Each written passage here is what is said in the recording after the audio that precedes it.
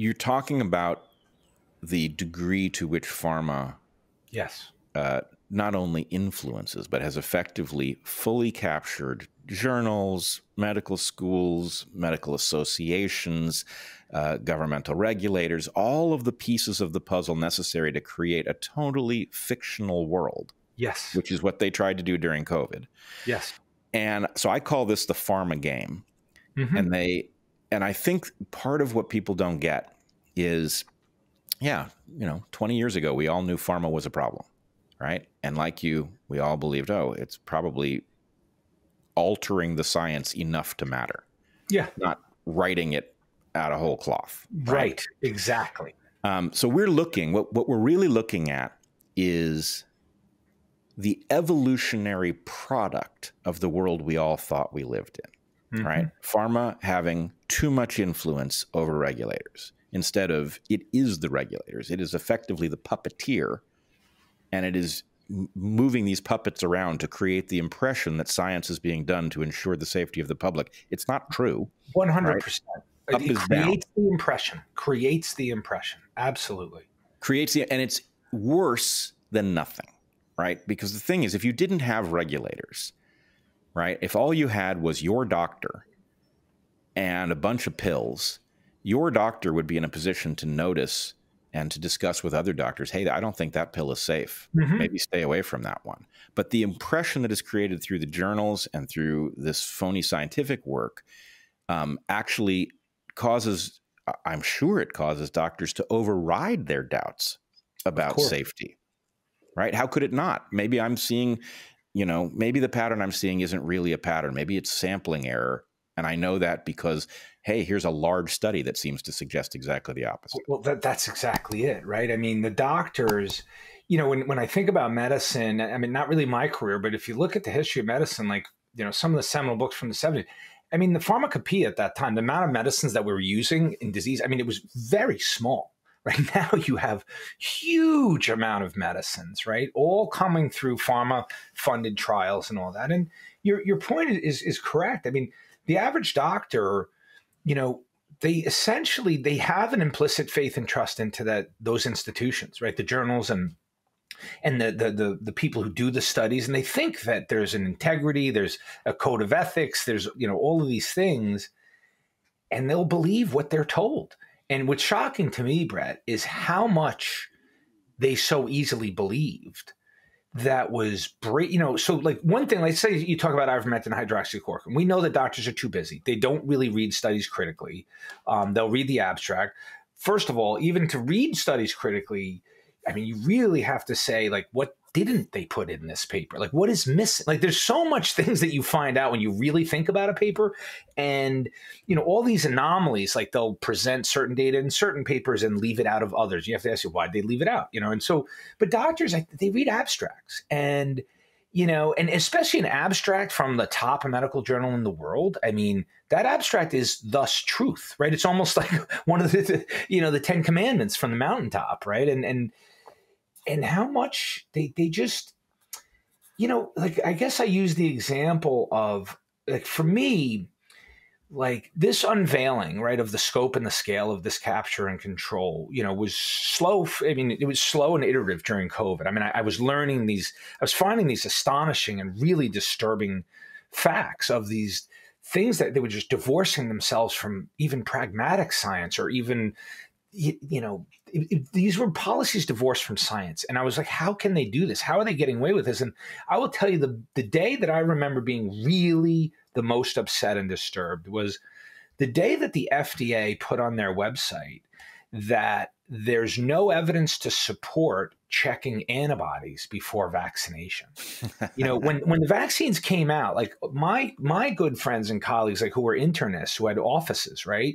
Their patients were coming to them for guidance around the vaccine, and I mean, the, I mean, their initial gut reaction was like, take a history. Did you have COVID? right, that would be one way, or check antibodies. And so, like one of my colleagues, he was checking antibodies, and if you had a positive antibody, you can skip the vaccine. But here we had, you know, a governmental agency telling the entire country of doctors that this thing called natural immunity, which we've which is as an evolutionary biologist, Brad, I think you can speak about natural immunity more than most. I mean, this is literally how we've survived, right, uh, through history and viruses and you know organisms, and suddenly some words on a website, and the entire country just goes with it without critical questioning, without a discussion. I mean, there was some stuff around that, but like, how did they cancel or disappear natural immunity with one page of a website? I mean, we yeah, were vaccinating people who just recovered, Bret. I mean, you know, I, I the worst story I've heard, not the worst. I, I, I don't want to qualify it like that, but I had a patient um, once about a year ago. She was um, a pharmacist who worked at a hospital, and she told me that the hospitalists at that hospital were vaccinating COVID patients upon discharge. Wow. And yeah, that to me was a wow moment. I said, wait a second you know, because there is a, some precedent to that, like with flu, like people come in for some other reason during the flu seasons, and you know the doctors will offer them a flu shot because they're captive right there. It's like, hey, you're here, what, we'll give you a flu shot. So flu shots kind of, you know, is like kind of a checklist upon discharge. So like I get that, but here you had patients admitted for COVID, survived COVID, still probably a little rocky. Not all of them are well, but they're ready to go home, and you're going to vaccinate them with an old protein. That was the other thing. It was like late 2021. It's like, guys, we're, we're using a two year old protein. And anyway, your your answer that when you said, wow, that, that was what I said that day. I just, I literally was like, what is going on? The world has gone mad. Well, it's incredibly foolish for multiple independent reasons, right? On the one hand, and, and I guess the, the thing that's really frightening about this is anybody who's gone through medical school ought to be able to piece one, if not both of these together. Mm-hmm.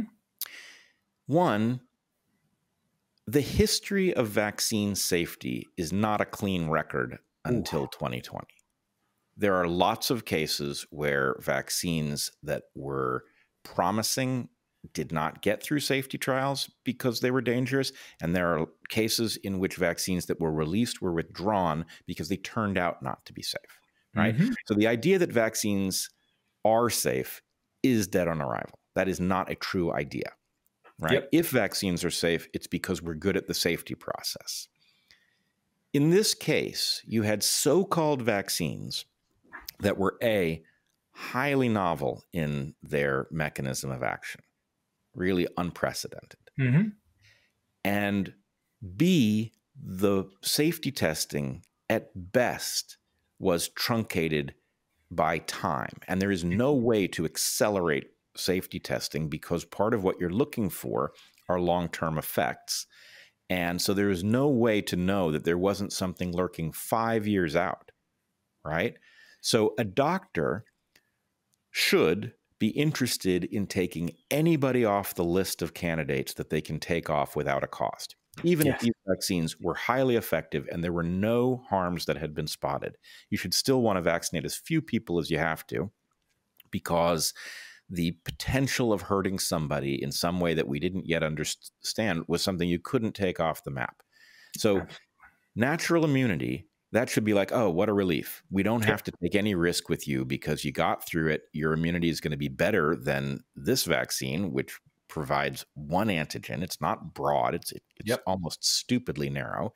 It's an old antigen, right, from a variant that is no longer circulating.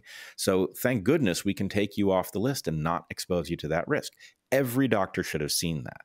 And then on the other side, the part that's maybe harder to spot is you're dealing with a layered set of complex systems what happens when you take somebody who has just recovered from the current circulating version of a disease and you inoculate them with something that triggers the production of a closely related antigen while their mm-hmm. immune system has not fully stood down from the infection it just beat, right? Yep. Does that make them more susceptible in the future? Does it make them less? Does it cause the immune system to think that it has failed to fight off the infection and to go into some kind of overdrive that we don't understand? There are a dozen ways that could go wrong. It's super complex. And and, and then the related uh, question which we've explored a little bit is what do you what happens when you give someone a vaccine for that narrow old antigen which is now quite different, right? It's mutating. Yeah, it's not the right. And we know a little bit about that with flu because that they've always done. You know, they're always a day late and a dollar short with the flu vaccine. But this was, this is even more. I think it's even more mutagenic than the flu. I mean, this thing was rapidly changing.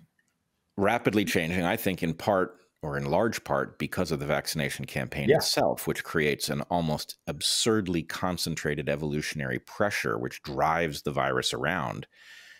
Um, but in any case, the obvious caution that should attend medicine when confronting a novel therapy, right, was simply not there. The desire, it was like a religious desire to vaccinate people rather than a, hey, we've got no choice. We got to do a lot of vaccination, but let's figure out who doesn't need it, right?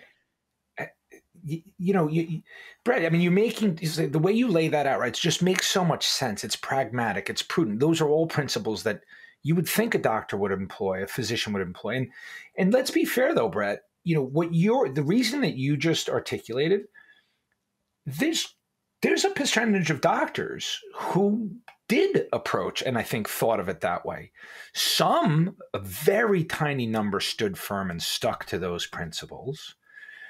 But if you look at the the population of physicians in this country, I think there was a large percentage who just believed what they were told, that they didn't have critical thinking. But the one that's most troubling is that percentage, and I don't know what percentage that is, who knew this was wrong and were coerced and co they realized they couldn't put up resistance. If if you did, you were going to be shunned and vilified and even unemployed right? I mean, if if you were in your office and you worked for an employer and you started telling patients, "Come, you don't need the vaccine. You don't need the vaccine." I mean, you're not around long.